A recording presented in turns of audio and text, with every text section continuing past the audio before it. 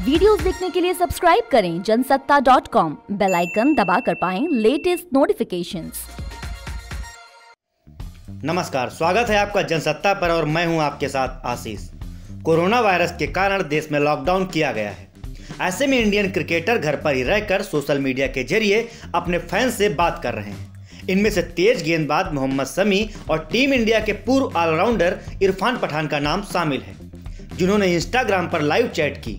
इस दौरान समी और पठान ने कई दिलचस्प और अनसुनी बातें बताई, जैसे कि शिखर धवन कितने भुलक्कड़ हैं, ईशान शर्मा और उनके बीच कैसा रिश्ता है, साथ ही साथ ऋषभ पंत के टैलेंट को लेकर क्या है उनका कहना। ऐसे में अगर आप भी जानना चाहते हैं इन सवालों के जवाब तो देखिए हमारी खास रिपोर्ट। आपको बता दें कि इंस्टाग्राम पर बातचीत के दौरान समी ने बताया कि ड्रेसिंग रूम में सबसे ज़्यादा मस्ती यजुवेंद्र चहल करते हैं।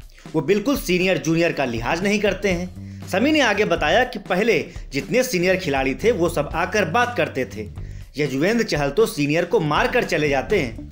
चहल बहुत मस्खरी करता है। इसके बाद समी ने इरफान को आगे बताया कि मैं थका हुआ आया और चहल ड्रेसिंग रूम में था। उसने कहा, कोने में आओ, हम तुमको ठोकेंगे और मारेंगे। मैंने कहा, शकल देखकर आना आईने में।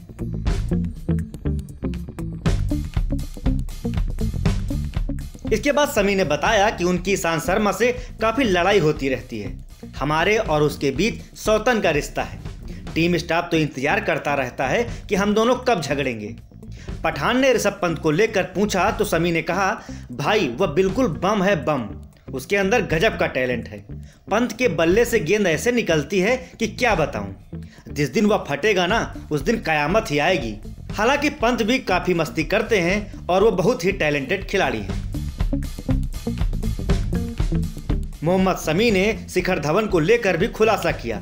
लाइव चैट के दौरान मोहम्मद समी ने इरफान पठान को बताया कि शिखर धवन बहुत बढ़िया इंसान है, लेकिन उतने ही ज़्यादा भुलक्कड़ भी हैं। एक बार विराट भाई ने मुझसे उनके भूलने वाला एक किस्सा सुनाया था।